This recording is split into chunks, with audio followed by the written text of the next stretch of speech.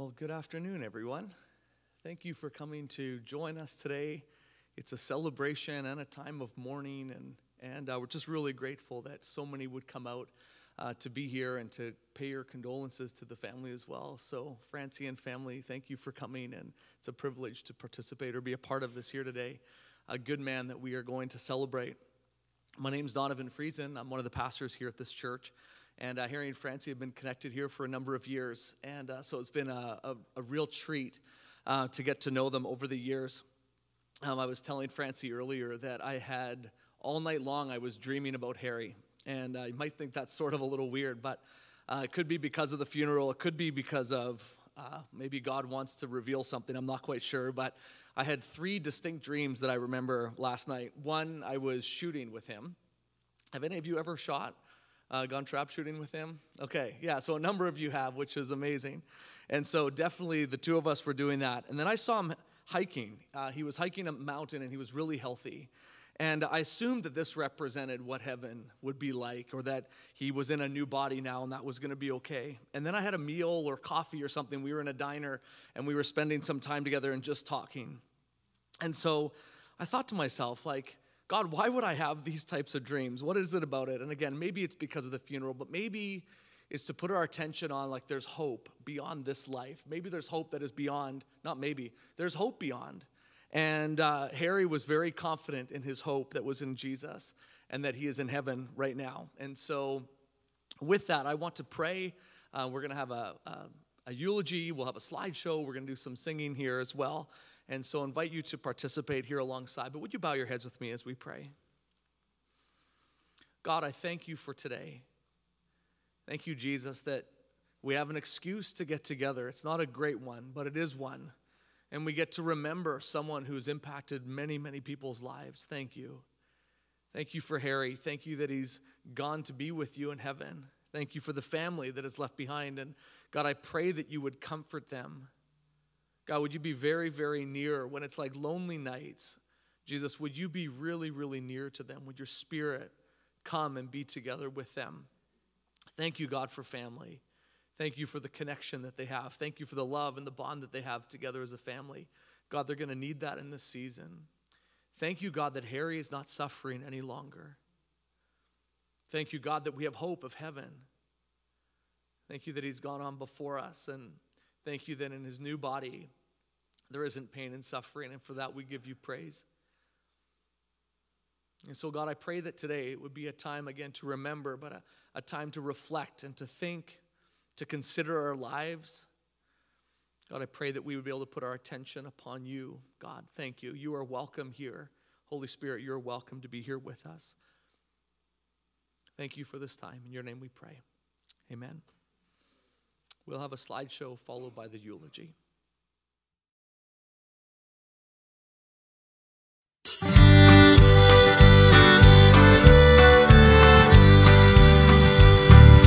What a fellowship. What a joy divine, leaning on the everlasting arms. What a blessedness, what a peace is mine, leaning on the everlasting arms. Leaning, leaning, safe and secure from all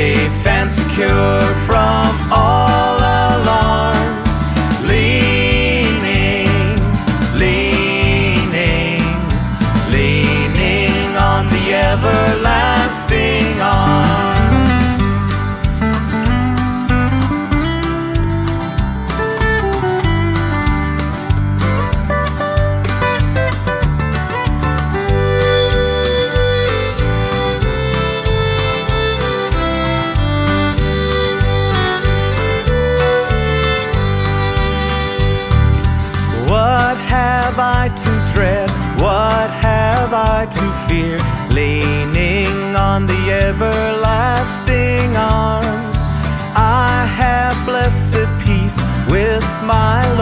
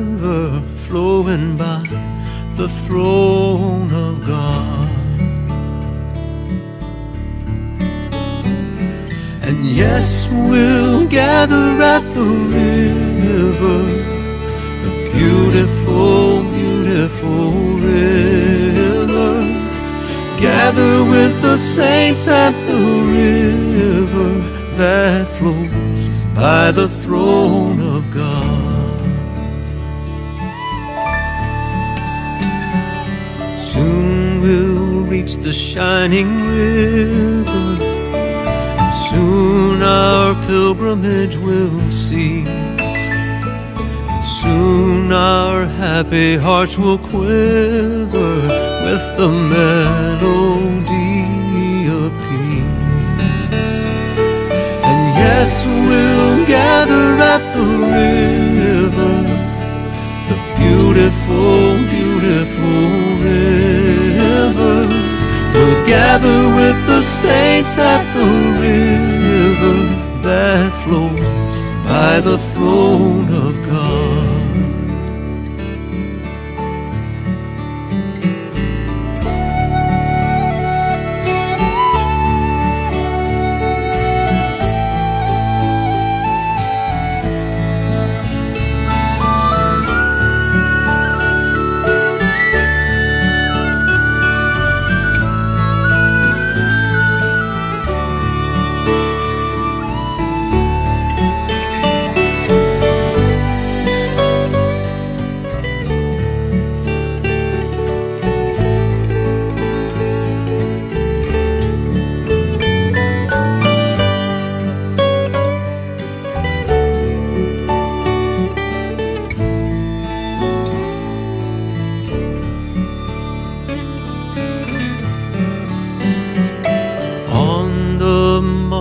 of the river, washing up its silver spray.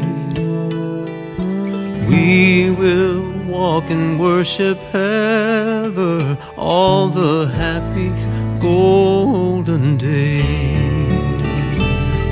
And yes, we'll gather at the river the beautiful, beautiful river. Saints at the river that flows by the throne of God. Oh, and yes, we'll gather at the river, the beautiful, beautiful river gather with the saints at the river that flows by the throne by the throne of God. That flows by the throne of God.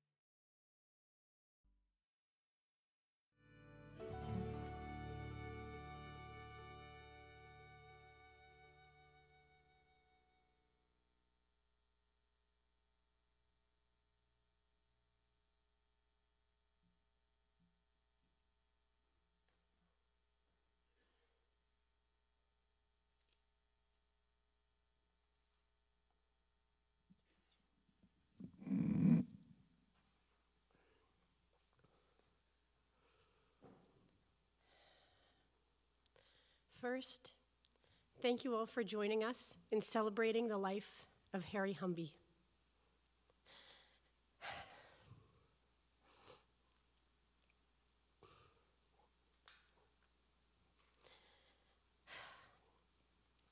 This past Tuesday, a week ago today, my father took his last breath here on earth and his first breath in eternity. If he were here now, he would tell you the same thing that he told me that it's okay because he loves Jesus, he knows where he's going, and he's lived a full, meaningful life.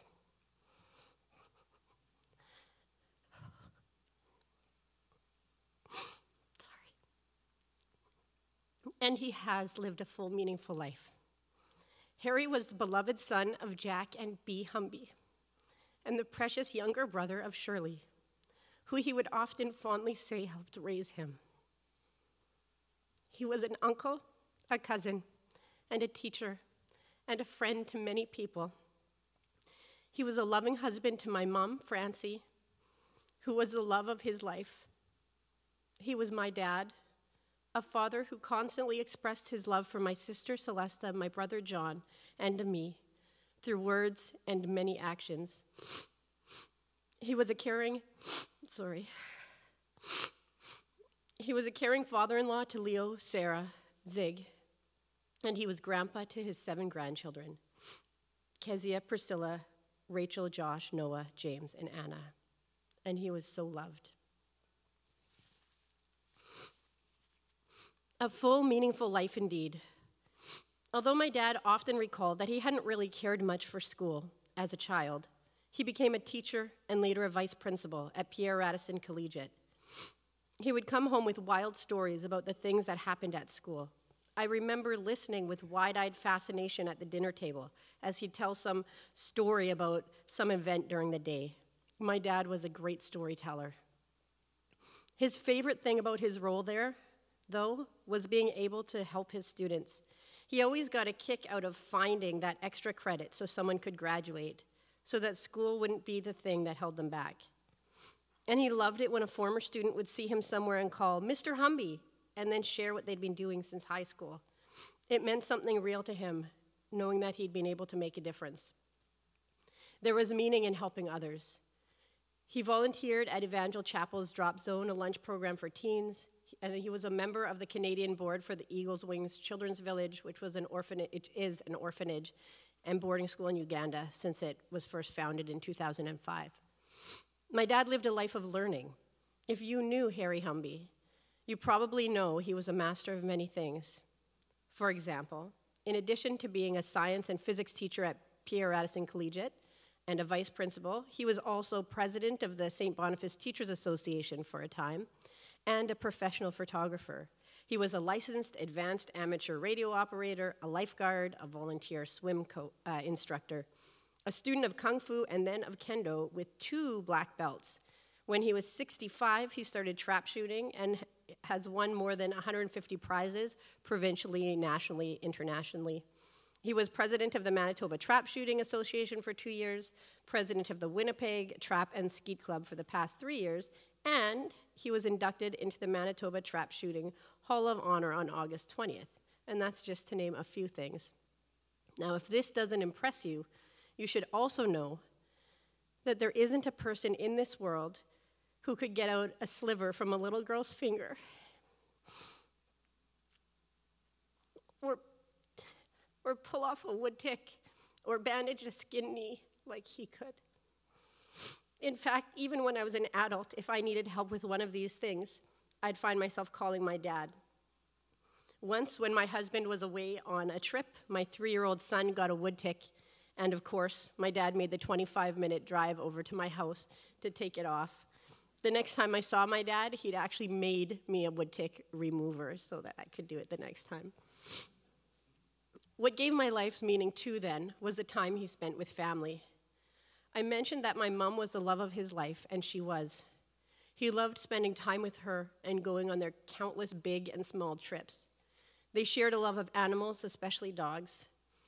There were very few conversations I had with him where he wasn't bragging about how intelligent and kind she was. They were married for 53 years. And of course, there were our summers at the lake.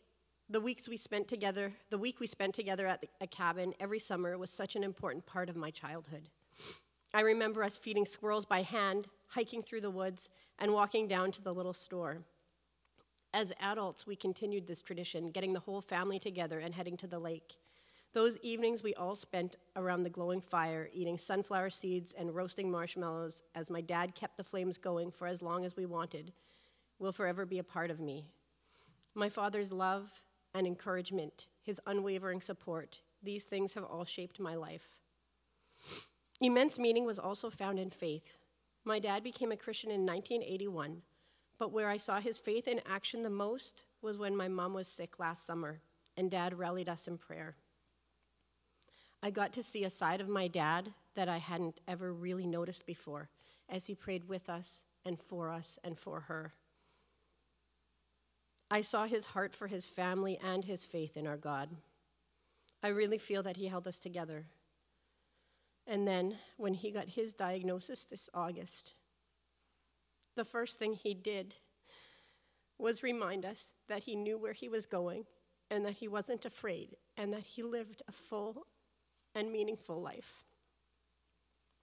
My father recently told my son, What's more important than all the trophies and all the black belts is how you treat people.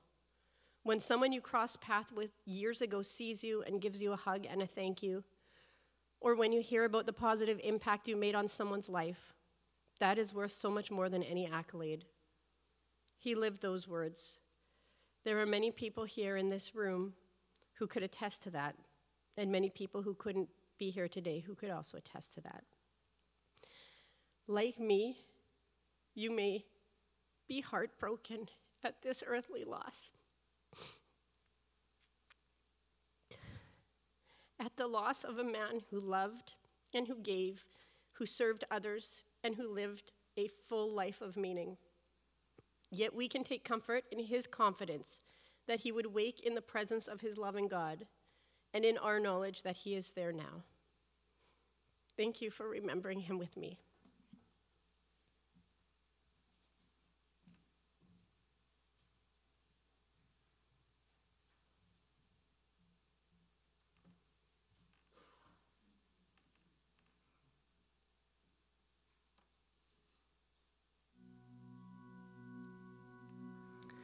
You're able, you're welcome to stand with me as we sing Amazing Grace.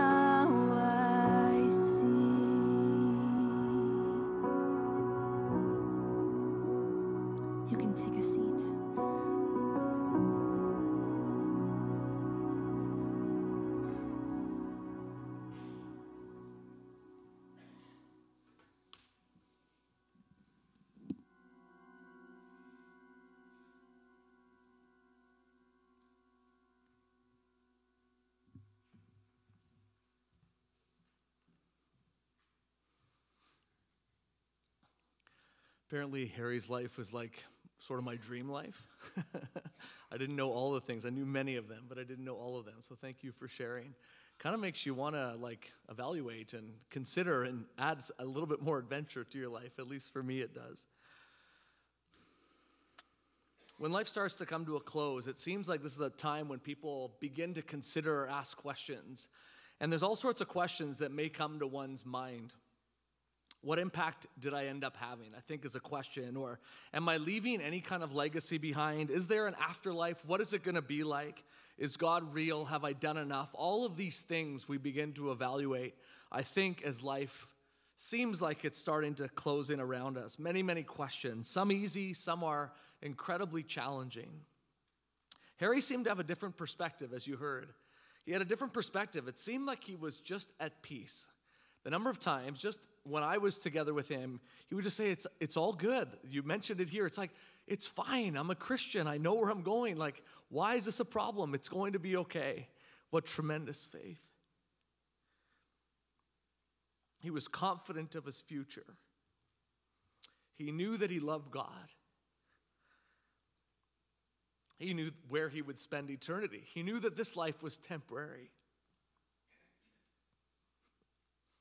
How many times did he tell you, Francie, don't worry? Like every day, probably. Don't worry, it's okay. It's going to be okay.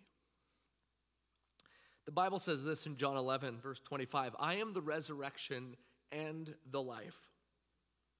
He who believes in me will live, even though he dies. And whoever lives and believes in me will never die. What a promise. If we believe in Jesus, we live forever and for all of eternity. As simple as Jesus, come and would you save me from my sin? Jesus, would you come? Would you forgive me? I want to follow you. That is what Harry did, I think you said in 1981. And the promise that he won't die, that he'll receive the gift of eternal life in the presence of God, where he's celebrating today without pain. I think that's a tremendous, not just hope, but he gets to experience it today. Harry is an avid trap shooter. I didn't know what trap shooting was until I met Harry, and every conversation I think I had with him involves something around this line of shooting. I would suggest that he's probably the best there is, right, Francie? Is there anyone any better? I know today I'm a little biased, and uh, we're allowed to do that, although I know there's many of you that were shooting buddies with him, so maybe you have a different perspective in terms of who is the best. Can I only imagine the fun and the competitive nature among those who would gather together. I had the experience of one time going shooting with him. He brought me to the club just out McGillivray past the perimeter. I don't know what it's called. And he said, Pastor, you need to come. I'm going to help you learn how to shoot. And I'm like, that sounds great. And I was going to learn what trap shooting was all about. So we went out there and he set it up and he tried to explain it. We made sure that there was enough clay pigeons or whatever you would call them uh, that were in, in the thing that shoots clay pigeons. I don't know how to describe it well. You would know better than I would. And uh, he gave me his gun and he said, This is going to be great. You can do this. So I was having a great time.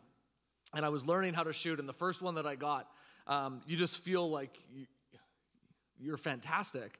And so at some point, I wanted Harry to show me what is it like? Like, what is the pro? How do they do it? And so he was going to have it. I think we went and set it up where there's a little microphone that when you would say a word like "yep," the microphone would that would trigger the the trap house to to shoot. And we had doubles set up, so he was going to shoot two at the same time, or go shoot, shoot, and he would shoot them.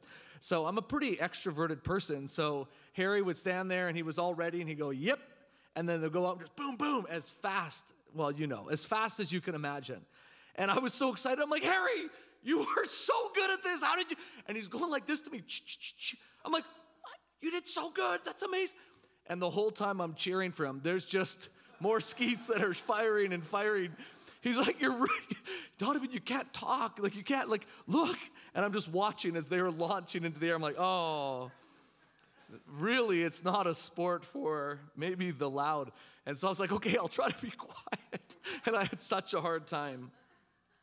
However, Harry was an incredible encourager. So when I was together with him, trap shooting for the first time, he had almost convinced me that this was my sport. Uh, maybe he just wanted more people involved, but Donovan, you're a natural. You do it really, really well. I can't believe that you've never hunted before. This is really fantastic. You should get into it. And part of you inside was like, he believes in me. And I started to think about what it would have been like to be a student of his.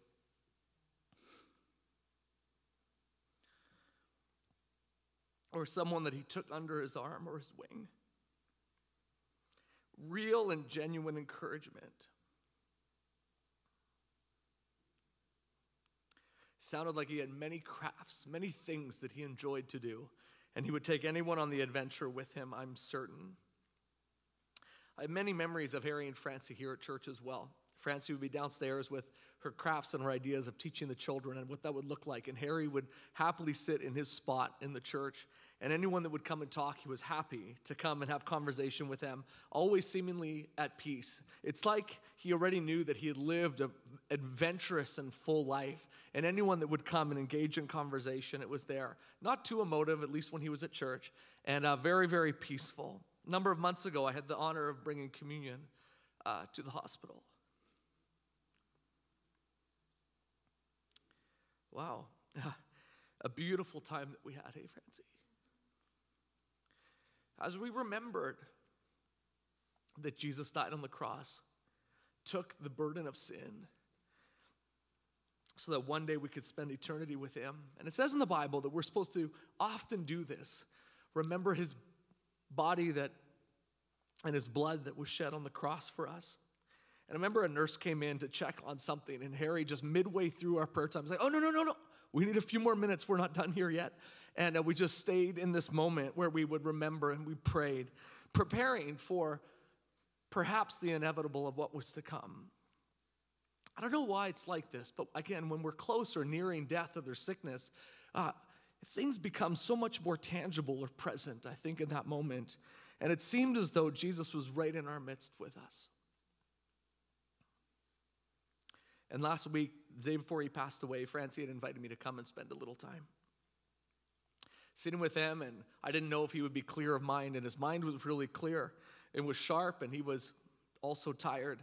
And I, he just, he would sit up and say, Oh, God, please, I want to come home.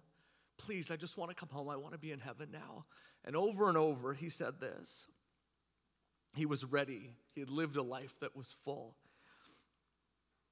And then when we prayed, we just prayed, God, please, would you take him home soon? And the next day, in his sleep, just like he had hoped, in his sleep, he passed away to be with Jesus. Like was already said, Francie, I remember you saying that you were so grateful for your marriage. One of the strengths was that you were so in love with each other. what an amazing thing to say after 53 years of marriage.